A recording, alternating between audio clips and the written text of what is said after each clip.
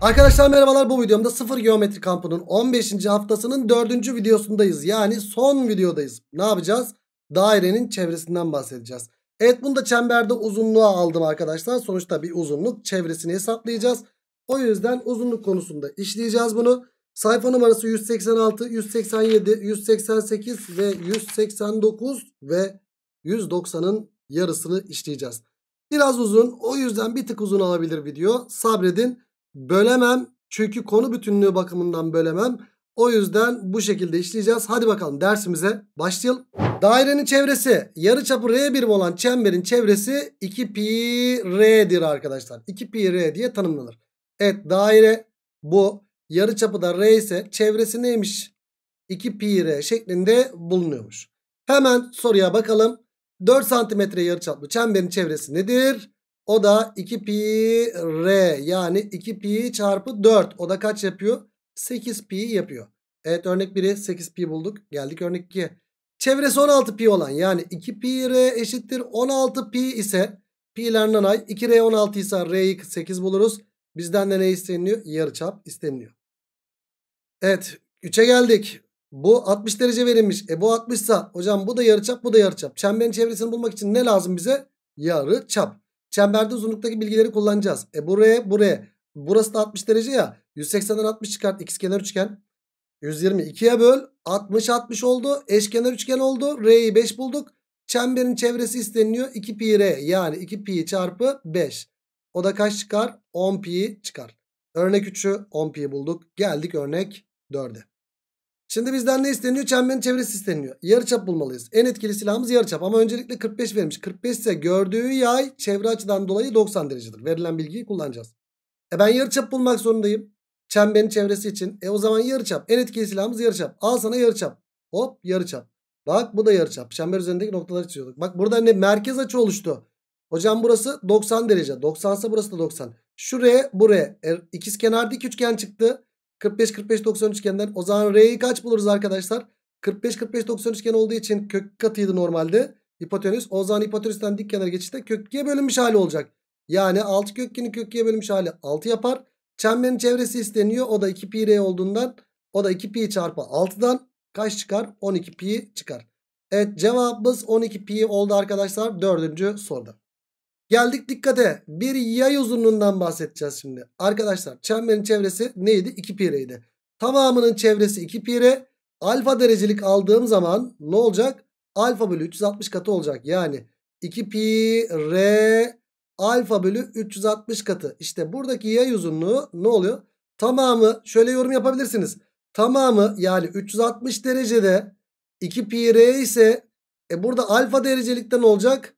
Soru işaret derseniz işler dışlar yaparsınız. O zaman soru işaretinde ne oluyor zaten arkadaşlar? 2 pi r alfa bölü 360 şeklinde geliyor. Oran orantı yöntemiyle de bulabilirsiniz ama yani yay uzunluğu da önemli. Normalde çevresi 2 pi r e, alfa derecelik merkez açımız belliyken belliyken alfa derecelik yay uzunluğu da e, 2 pi r alfa bölü 360'tır. Tamam. E, o zaman yay uzunluğu da sorulurken aklımıza ne gelecek? İki şey. Bir yarıçap. iki merkez açı gelecek. Bunu da unutmayın. Evet 360 derecelik burada da bir şey yazılmış. 360 derecelik açı çemberin tamamını kapsadığı için alfa derecelik açı da e, o zaman ne yapacak arkadaşlar? Alfalık kısmını kapsayacak değil mi? 360 derecelik evet alfa bölü 360'lık kısmını kapsayacak. Herhalde ben bu cümleden bunu çıkarttım neyse. E, o yüzden 2 pi r alfa bölü 360 diyeceğiz arkadaşlar. Bu nedir? Yarım çemberdir. Yarım çemberin çevresi nedir? Bak dikkat. Yarım yay uzunluğu sorulursa bu nedir? 2 pi r'dir tamamı ama bölü ikisi de var. Ama yarım çemberin çevresi ne olacak? 2 pi r bölü 2 artı bir de şunlarda yok mu arkadaşlar? Var. Normalde bu yarım yay 2 pi r bölü 2 yani pi r yapıyor bu da. E, normalde yarım çemberin çevresi derse e, yarım çemberin çevresinde şu da var değil mi? Bu dilim şeklindeyse Tamam mı? Yani yarım daire şeklindeyse şunları da alırız. E, o zaman ne olacak arkadaşlar? Artı 2R ederiz. Yani pi r artı 2R olur. Ezberleme. Bak burada da aynı şekilde. Çeyrek çemberin çevresi. Yay uzunluğu sorulursa normalde 2 pi r çeyreğin olacak bölü 4 deriz. Ama çeyrek çemberin çevresi ne olacak? 2 pi r bölü 4 yay uzunluğu Artı bir de buradaki yay uzunluklar yok mu? Var. Hani içi dolu bir daire parçasıysa. Çeyrek daire dilimiyse arkadaşlar. E artı 2R'yi de koyacağız. Yani pi R bölü 2 artı 2R şeklinde olur arkadaşlar. Çeyrek çemberin çevresi. Tamamının çevresi soruluyor mu? Ona dikkat edin. Yay uzunluğu mu soruluyor? Tamam mı soruluyor? Ona dikkat edin arkadaşlar lütfen. Tamam. Evet geldik soruya. AOB açısını 60 derece vermiş. O A uzunluğunu 12 vermiş. E tamam. ACB yayının uzunluğu nedir diye soruluyor.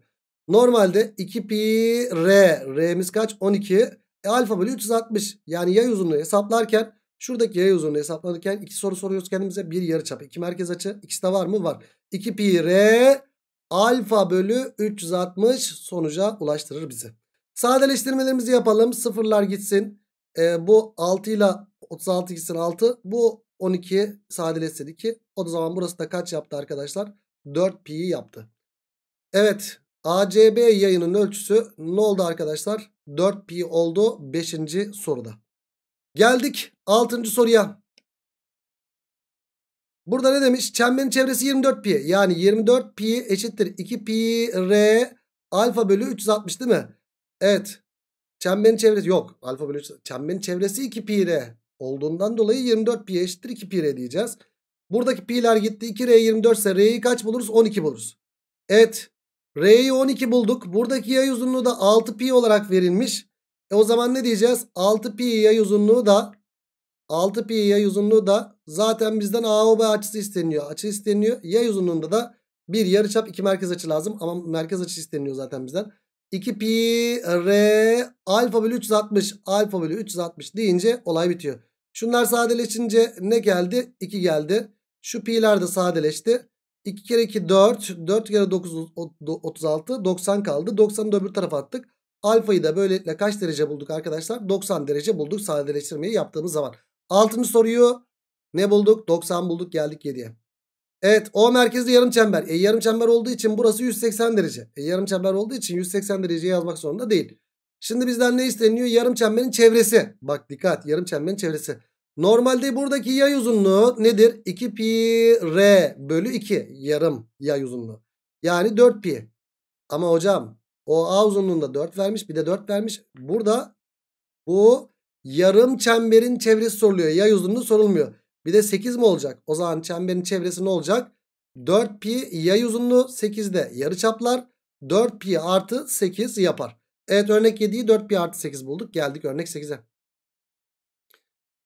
Evet şekildeki O, C ve D merkezli yarım çemberler A, O, B noktalarında birbirine teğettir. AB 12 santimetre olduğuna göre AB 12 santimetre ya bunun yarıçapı 6 yapar. Burası da 6 olur. E bunun çapı 6 ise yarıçap 3, yarıçap 3, yarıçap 3, yarıçap 3 oldu. Taralı şeklin çevresi. Öncelikle bu yarım yay olacak. Yarıçap kaç? 6.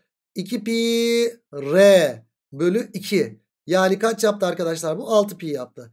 Bir de şunu hesaplayalım. Bu ve bu. Arkadaşlar bu 2 pi r yarıçapı 3 bölü 2. Bu da aynı şekilde. Yani bu da kaç yaptı o zaman arkadaşlar? 3 pi yaptı. E o zaman burası 3 pi. Burası da 3 pi. Taralı bölgenin çevresi 6 pi burada. Bir de 3 pi 3 pi burada. 6 pi artı 3 pi artı 3 pi'den cevap kaç olacaktır arkadaşlar? 12 pi'ye eşit olacaktır. Evet. Bizden ne isteniyor? Taralı bölgenin çevresi. Taralı bölgenin çevresi bu yapar arkadaşlar. Şunlar işin içinde olur mu? Olmaz. Bak taralı bölgeyi çevrele şöyle. Şurası, burası ve burası. Bunlar taralı olmayan kısımlar. O yüzden bunları almayız. Yani cevap sadece ve sadece 12 pi yapar arkadaşlar. Örnek 8'i ne bulduk arkadaşlar? 12 pi bulduk. Geldik örnek 9'a. Birbirine teğet olan eş çemberlerin evet çemberler birbirine değdiği zaman ne yapıyorduk? Merkezleri birleştir. Merkez varsa teğet varsa çektik. Merkez varsa teğet varsa çektik. E burada da çektik. Burada da çektik. Yaptık. Hadi anahtar kelimeleri kullandık. Hocam 90 burası 90 burası. Yarıçapları aynı. Ve yarıçapları da 4. Hocam burası da 4 burası 4. Birbirine paralel ve 4 olduğu için paralel kenar olur. E karşılıklı kenarlar paralel oldu. O zaman burası da 90 burası da 90 oldu. Aynı mantıktan dolayı 90 90 ve 4 4 olduğundan bu da dikdörtgen oldu mu? Oldu. Yarıçap 4 4'tü. O zaman burası kaç yaptı? 8 burası da 8 yaptı. Evet buna bir ip sarılmış. Bu ip sarıldıysa Ben şuradaki uzunlukları buldum. Şu uzunluk 8 bu uzunluk da 8. Neler kaldı? Burada ip sarılmış ya. Bu yay uzunluğu ve bu yay uzunluğu kaldı. Hocam dikkat edersek burası 90 burası 90 e burası 180 yarım yay yaptı. Bu 2 pi r bölü 2. E bu da aynı şekilde 90 90 ya bu da yarım yay 2 pi r bölü 2 yaptı burası da. Yani burası 4 pi yaptı burası da 4 pi yaptı. O zaman gergin ipin uzunluğu ne oldu arkadaşlar? Yaylar uzunluğu 8 pi artı mavilerin uzunluğu bir de kırmızıların uzunluğu 8 8 16. Yani ipin uzunluğu böylelikle 8 pi artı 16'ya eşit oldu. Örnek 9'u bulduk geldik örnek 10'a.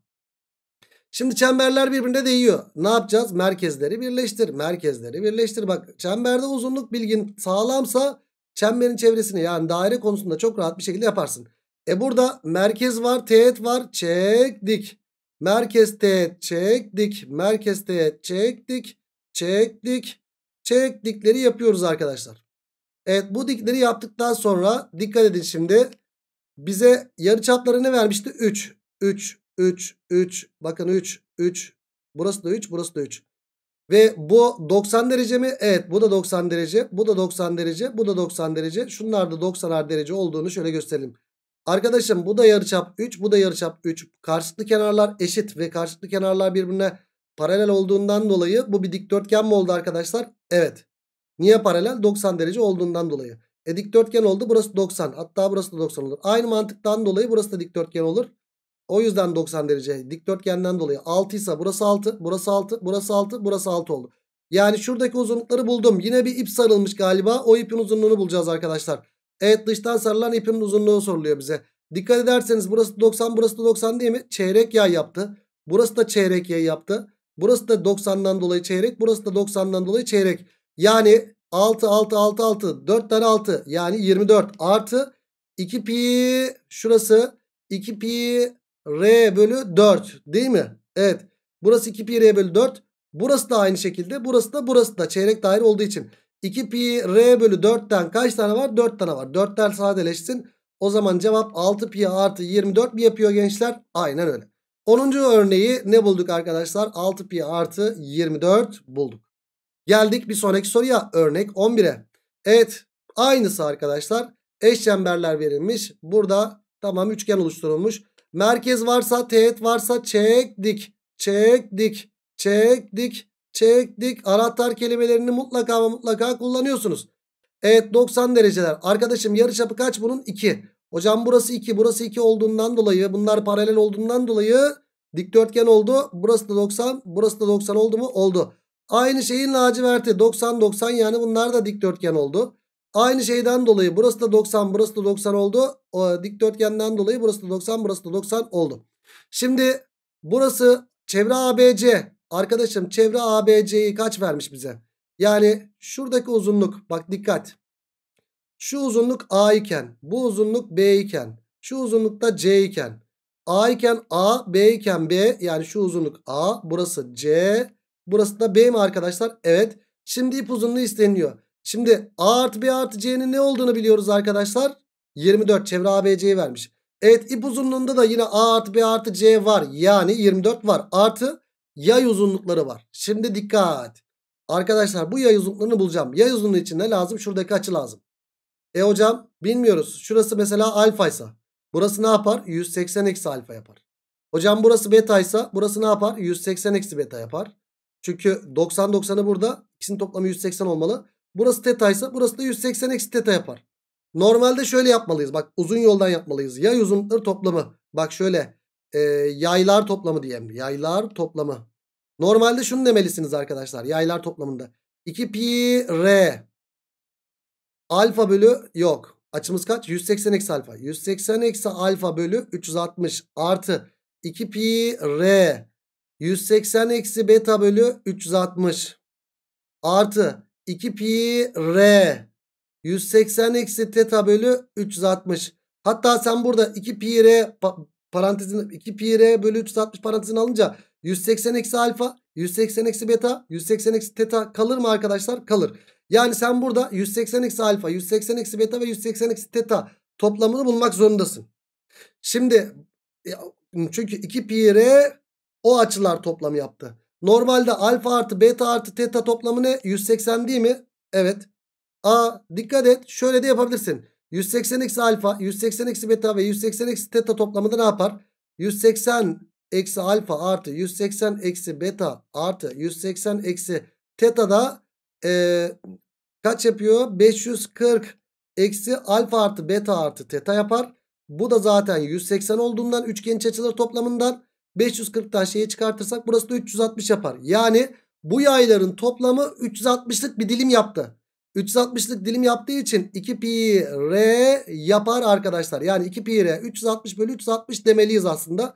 O da 4 pi yapar. E böylelikle ipin uzunluğu ne yapacak? 4 pi zaten var.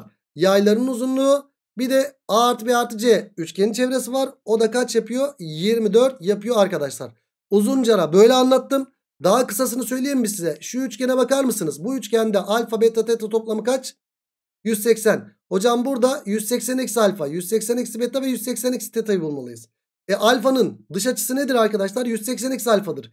E, beta'nın 180 eksi betadır. Teta'nın da 180 eksi tetadır. Aslında dış açılar toplamı da 180 eksi alfa, 180 eksi beta, 180 eksi teta değil mi? E normalde iç açılar toplamı 180 iken dış açılar toplamı yapıyor bunlarda. Çünkü alfa, beta, teta'nın 180'e tamamlayan açısı.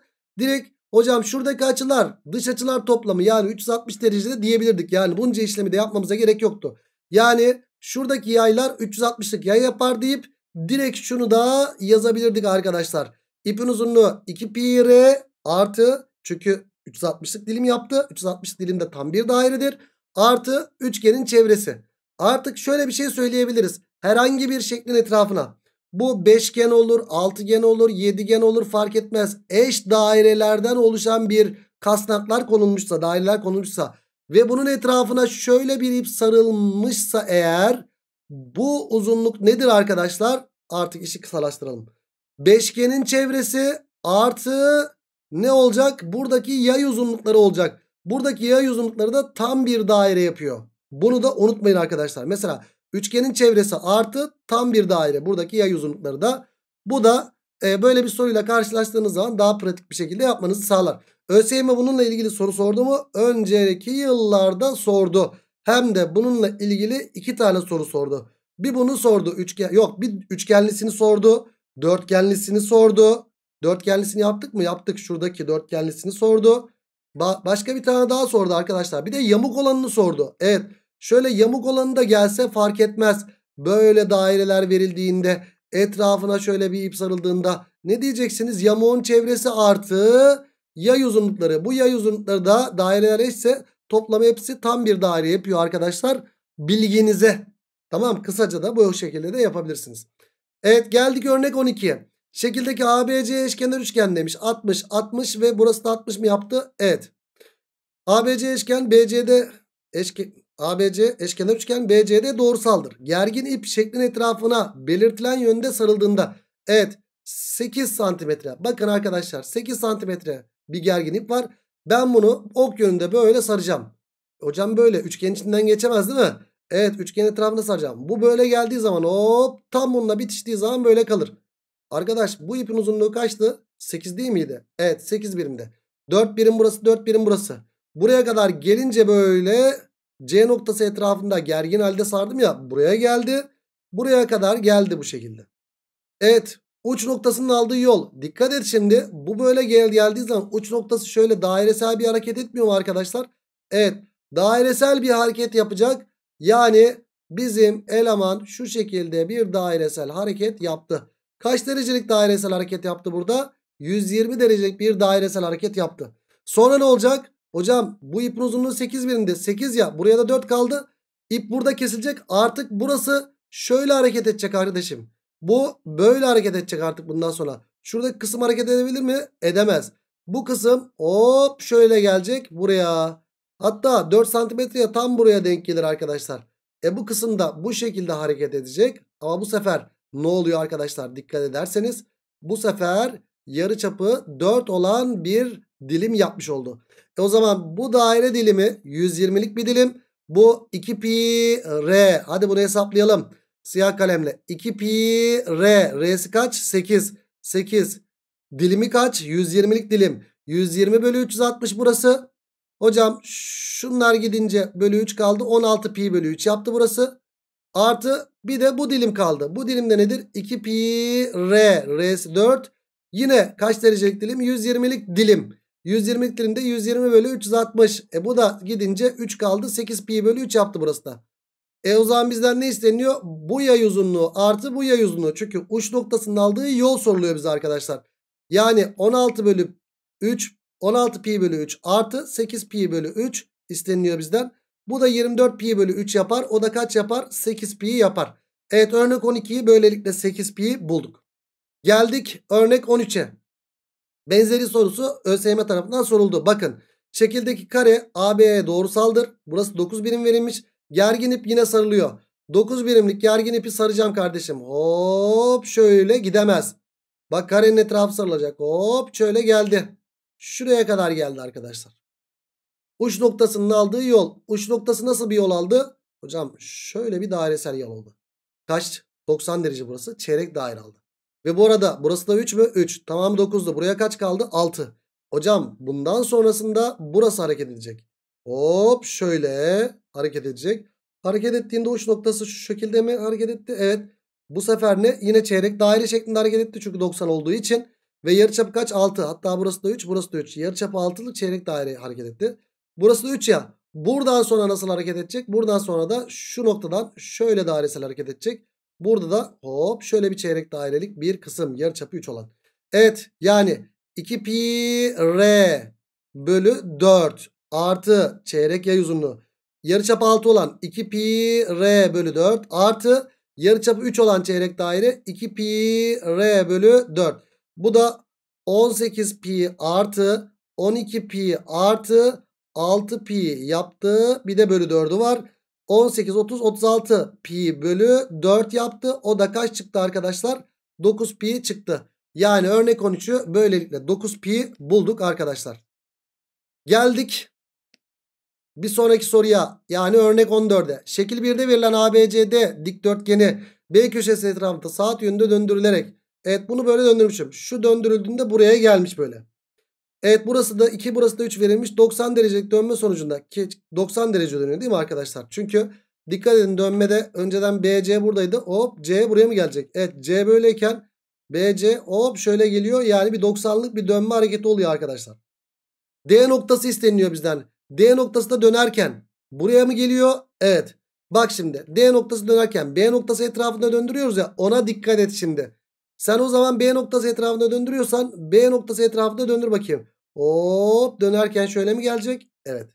Nasıl bir dairesel? Yine bir çeyrek dairesel. Çeyrek değil de şöyle bir dairesel bir hareket mi edecek? Aynen öyle. Buranın 2 buranın 2 kök 3 olduğunu biliyoruz. E hocam burası da 2 burası da 2 kök 3 değil mi? Evet. Bak şimdi ne oldu? Sen burada B, D noktası buraya geldi mi? Geldi. Sen şuradan aslında 90 derece döndüğünü anladın. E o zaman hocam D noktası da bu dönüşte 90 derecelik dönüş yapar. Yani burası 90 derece diyebilirsin. Ya da hocam burada 2 iken 2 kök 3 olmuş. Hatta burası Pisagor bağıntısından 4 çıkar. Hatta A iken A kök 3 30 60 90 üçgeninde değil mi? Burası 30 burası 60 olur. Aynı şekilde burası da 30 burası da 60 olur. E o zaman buraya 30 kaldı buraya 60 kaldı. Toplamda 90 dereceyi o şekilde de bulabilirdin. Neyse 90'lık dilim oldu ve 4. Bizden D noktasının aldığı yol soruluyor. Burası soruluyor. Yarıçapı kaç olan? 4 olan bir dönüş var. Hatta 90 derece olduğu için çeyrek daire dönüşü 2 pi r bölü 4 diyeceğiz. O zaman cevap ne yapıyor? 2 pi yapıyor arkadaşlar. Evet örnek 14'ü kaç bulduk arkadaşlar? 2 pi bulduk. Geldik örnek 15'e. Ne diyor bakalım burada? Şekil 1'de çapları aynı doğru üzerinde bulunan 3 yarım daire verilmiştir. 2 yarım daire ok yönünde döndürüldüğünde şekil 2'de verilen E noktasında birbirine teğet olmaktadır. Şöyle teğet olmaktaymış. Şekil 1'de CD 36'ymış. Tamam. Şurası A, A. Şuraya BB diyeyim. Şuraya da RR diyeyim. A hatta bak burası A, A. Burası da BB olduğundan dolayı burası da 2A artı 2B olmadı mı? Evet.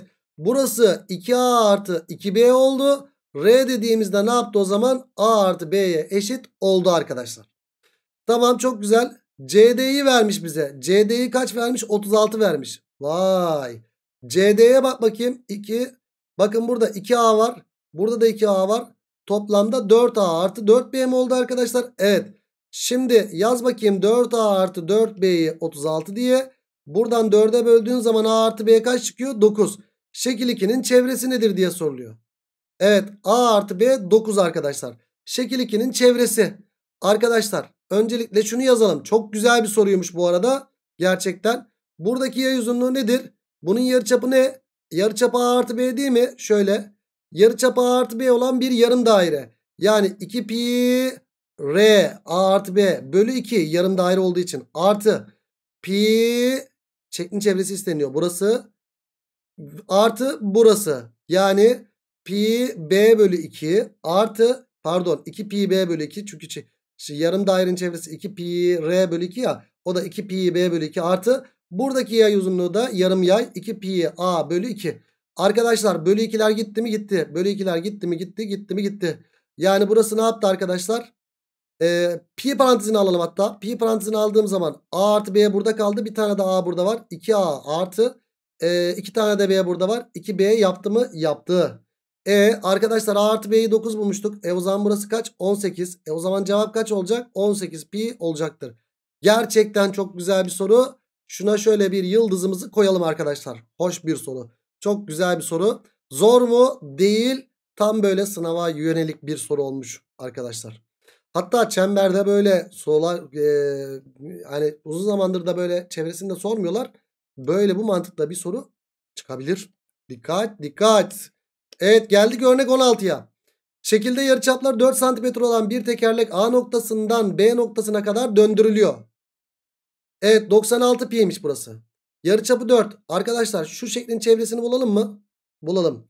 Yani yarıçapı 4 ise 2 pi r. Arkadaşım bu kaç yaptı? 8 pi yaptı. Ha sen tam tur attığında şöyle 8 pi gideceksin değil mi tam tur attığında? O zaman tekerlek kaç tur atmıştır diye soruluyor. E o zaman 96 pi'yi kaça böleceğim? 8'e böleceğim. 96 pi'yi 8 pi'ye böldüğüm zaman kaç tur attığını bulurum. Pi'ler gitti. 96 bölü 8'den de 12 mi geldi cevap? Evet. E arkadaşım 12,5 falan gelseydi 12 tur bir de yarım tur derdik. E 12,5 tur derdik ya da 12.2 gelseydi 12.2 tur falan derdik arkadaşlar. E, tam tur attığı sayısı sorulmuş olsaydı cevap 12.2 çıkmış olsaydı 12 tane tam tur atmış diye cevabı olurdu arkadaşlar. Evet çemberin çevresini 8 pi buldum. Tam tur attığında 8 pi kadar gidecek. E 96 pi kadar gitmiş ya. E 96'yı 8'e böldüğümüz zaman kaç tur attığını buluruz arkadaşlar. Evet örnek 16'yı 12 bulduk. Geldik bir sonraki soruya örnek 17'ye. Şimdi ne diyor bakalım burada. Şöyle bir direk var. Önceki direk bak şöyle. Dikkat. Önceki direk böyle. Sonra bu kırılmış ne olmuş? Hop şuraya gelmiş arkadaşlar. Şöyle olmuş. Şu direğin direği ucu önemli değil galiba. 6 metre uzunluğunda dikdörtgen biçimindeki bir elektrik direği şekil 1'deki gibi zemine dik durumdadır. Şuradaki gibi dik durumdaymış. Elektrik direği yerden yüksekliği 2 metre olan E noktasından kırılıp devrildiğinde yerden yüksekliği 2 olan yerde kırılıyormuş. Ve 6 metre yüksekliğinde burası kaç oldu? 4 oldu. O zaman burası da 4 mü? Evet. Çünkü niye? Bu böyle hareket ediyor. Bak dikkat et. Hop geldi. Bu buraya geldi. Evet burası 4. Tamam. Ee, bu C noktası burasıydı arkadaşlar. Bu devrilirken şöyle bir daire dilimi olmayacak mı? Niye? Çünkü bu hop şöyle dairesel hareket edecek. Bir nokta etrafında döndürme işleminde mutlaka daireselliği düşünün. E o zaman bizden buradaki yay uzunluğu isteniyor. Yay uzunluğu için kendimize iki soru soruyorduk. Bir yarıçap ki yarıçap var mı? Var. İki açı. Açıya bakacağız. E hocam burada 4 var. Dik üçgen var. 90'ın karşısı dörtgen. Hangi açının karşısı 2'dir? 30'un. 30 90 burası 60 ve buradaki yay da 120 çıktı. O zaman bu yay uzunluğu kaç yapar? 2 pi r 120 bölü 360 mı yapar? Evet. Bu da kaç yaptı? Sadeleştirince 3 8 pi yukarısı yaptı aşağısı da 3 yaptı. Bizden CC üssü yayının uzunluğu kaç metredir diye soruluyor. Bu arada pi'yi de 3 alınız demiş. 3'ler sadeleşti. Cevap kaç çıktı o zaman? 8 çıktı. Normalde cevap 8 pi bölü 3. Ortaokuldayken pi'yi 3 alınız derlerdi. Ama bazen lisede de denilebiliyor. Normalde cevap hep pi'li çıkar. Çevresinde tabi e, yarıçap 5 bölü pi şeklinde olduğu zaman pi'li de çıkmayabilir. O da ayrı bir konu. E, ama burada pi'yi 3 alınız dediği için cevap böylelikle 8 çıktı. Evet gençler görüyorsunuz. Çemberin çevresi veya uzunluğu gerçekten çok güzel ve çok da kaliteli sorular çözdük. Güzel sorular çözdük gerçekten ve işi öğrendik. Şimdi çemberin benzerliği var. Çemberlerin benzerliği. Bütün çemberler yuvarlak değil mi kardeşim? E yuvarlak. E o zaman bütün çemberler birbirine benziyor değil mi? E o zaman e, benzerlik oranı nedir? Direkt yarı çaplara oranı benzerlik oranıdır arkadaşlar. E, biz üçgenlerdeki bildiğimiz benzerliği buraya da yorumlayabilir miyiz? Yorumlayabiliriz. Benzerlik oranının karesi önce şunu söyleyeyim. Benzerlik oranı her uzunluk oranına eşitti. Hatta çevreleri oranına da eşit değil miydi? Evet. Çevre A bölü çevre B neye eşittir? Direkt yarı çapları oranına eşittir. Çünkü benzerlik oranı iki çemberin yarı çapları oranına eşittir. E benzerlik oranı R1 bölü R2 çevre A bölü çevre B'ye eşittir. Peki e bir de alanı yazacak olursak daha dairede alana başlamadık ama benzerlik oranının karesi de R1 bölü R2'nin karesi de kaç olur arkadaşlar? O da alanlar oranına eşit olur. Alan A bölü alan B'ye eşit olur. Bunu unutmayın. Bunu benzerlik alan ilişkisinde gerçekten kullanıyoruz arkadaşlar. Özellikle bak şöyle. Bak dinle. Bir yarım daireler böyle iç içe verildiğinde ben bunu çok kullanıyorum arkadaşlar. Mesela şöyle adam dedi. Buraya 2 dedi. Buraya 1 dedi. Buraya da 1 dedi mesela. Bakıyorsun burada. A yarı çaplar oranı ya da çaplar oranı benzerlik oranı değil midir? Evet. E, çaplar oranı 2 bunda, 3 bunda, 4 bunda. E, çaplar oranı kaç? 2, 3 ve 4. O zaman alanlar oranında karesi olmaz mı? Olur. 4, 9 ve 16. Yani buradaki oran nedir arkadaşlar? Şuradaki alan 4A iken bu diğer yarım dairede 3 yarı çapı 3 ya da e, çapı 3 olan yarım dairede alanı 9A olacak. Bak sakın burası 9A değil iç içe. Bunun tamamı 9A olacak ya buraya 5A kaldı. E, öbürünün kaç A olacak? 16A olacak. 9'u buradaysa buraya da 7A kaldı diyebiliriz arkadaşlar. Böyle alanla da ilgili bir şey geldiği zaman bu şekilde yapacağız. Önümüzdeki hafta alanı da paylaştıracağız zaten. Alanı da yapacağız zaten. Bu şekilde e, hep yarım daireler karşınıza gelirse ya da hep çeyrek daireler karşınıza gelirse bu şekilde hamle yapabilirsiniz arkadaşlar. Çeyrek dairelerle ilgili bir şey yapabilir miyiz mesela? Yok onu da yapamayız ya. ya ama çeyrek daireler bir böyle verilip bir de böyle verilirse mesela tabii ki yapabiliriz. E, çeyrek dairelerde de ya tam dairelerde de ama yarım dairelerde nasıl ki tam dairelerde böyle bir benzerlik ilişkisi yakalayabiliyoruz. E, bu yarım dairelerde alan ilişkisi de benzerlik oranı karesi alanlar oranı eşitliği yaz. Ama burada 4A iken tamamı 9A ona dikkat et. Buraya 5A kaldı deyip ona göre yorumlamanı da yap. Yani buraya da şöyle bir küçük bir bilgi eklemek istedim arkadaşlar. Bu şundan bağımsız önümüzdeki hafta belki böyle sorularla karşılaşabiliriz. Evet geldik buraya. E, merkezleri aynı olan daireler de yine benzerdir arkadaşlar. O ortak merkez olmak üzere. Bak şimdi öncelikle ben şunun şöyle kopyasını alayım. Copy paste yapayım. Bunu bir de alanda da kullanacağım ben şimdi biraz sonra. Dur bakalım. Şimdi burası R1. Bak şurası R1. Şurası da R2 olsun. E yine yarıçapları bak. Şu dilimler oranı O merkez olmak üzere R1 bölü R2. R1 bölü R2 benzerlik oranı değil mi? Evet. Ama R1 bölü R2 derken şöyle bir şey gelirse şunu demeyin tabii. Bak dikkat. E, hocam burası 2 burası 1 iken hocam 2 bölü 3 2 bölü 1 değil. 2 bölü 3 benzerlik oranı. Heh, buradaki yaylar oranı da 2 bölü 3'tür. Hatta burası da 2'ye 1'dir. Çünkü bunun yarıçapı 2 ya. Tamam mı? Yaylardaki oranı yazarken o şekilde yazacağız. Ama ben şuraya yazayım. R1 bölü R2 neye eşittir? AB yayının uzunluğu bölü CD yayının uzunluğuna eşittir. Peki alanla ilişkili bir şey yapmak istiyorsak onu da şurada göstereyim. Alanla ilişkili bir şey yapmak istiyorsak da atıyorum burası 2 burası 1 iken benzerlik oranı 2 bölü 3 mü? 2 bölü 3 karesi 4 bölü 9. Hocam burası 4A iken burası 9A değil dikkat. Niye? Çünkü 2 yarıçaplı daire burası iken 3 yarıçaplı daire dilimi tamamı tamamı 9A olacak. Hani temel orantıda da yapıyorduk zaten. Buraya ne kalıyor arkadaşlar? 5A. Hani temel orantıda da aynı şekilde burası 2 burası 1 ise 2 bölü 3'ün karesi 4 bölü 9. Burası 4A iken buraya 5A diyorduk. Aynı temel orandaki mantığı da buraya da uyarlayabiliriz arkadaşlar. Haberiniz olsun. Evet gençler dairede benzerlikte bu. Ama şunu da unutmayın yarım dairelerde de böyle bir şey gördüğünüz zaman benzerlikte özellikle alan ilişkisi varsa benzerlikte kurmayı ihmal etmeyin. Hatta böyle bu yay uzunlukları da bak çapları oranıdır. Burası 2x iken burası 3x'tir. Burası da 4x'tir diyebiliriz arkadaşlar. Direkt benzerlik oranı e, yay uzunlukları oranına da eşittir. Ama hepsi yarımsa ya da hepsi tamsa ya da hepsi çeyrekse. Evet geldik örnek 18'e. Yarıçapları 4 bölü 5 olan iki çemberin çevre uzunlukları oranı nedir? Arkadaşlar benzerlik oranı 4 bölü 5. E, direkt çevre uzunlukları oranı da benzerlik oranına eşittir. Yine 4 bölü 5'dir. E, benzerlik oranı çevreleri oranına eşittir. Evet örnek 18 5. Ya da ne dersin? Birine 4R dersin. İspat yöntemiyle yaparsın. Birine 5R dersin. 2 pi 4R bölü 2 pi 4R yani normalde 2 pi R de birinin yarıçapı ya da şöyle 4A birine de 5A diyelim böyle. 2 pi R birininki 4A bölü 2 pi diğerininki 5A. Şunlar şunlar sadeleşince zaten 4 bölü 5 kaldığında görüyorsun. Tamam O şekilde de yapabilirsin. E hocam çok kolay bu ya. Bunu sorarlar mı? Sordular. ÖSYM sordu hem de yakın zamanda sordu. Bu çeyrek çemberlerle alakalı sordu hatta. İşte bu e, bu ip gibi düşün bunu. Bu ipin üçte biriyle bu yapıldı diyor. O zaman bunların benzerlik oranı 1 bölü 3'tür. Çevreleri oranı da 1 bölü 3'tür. Direkt çevresini sordular. Yani düşünün. Aynısını sordu. Sadece hikaye yaptılar. Yani yeğen nesle çevirdiler. Tamam. Örnek 18'i 4 bölü 5 bulduk. Geldik örnek 19'a.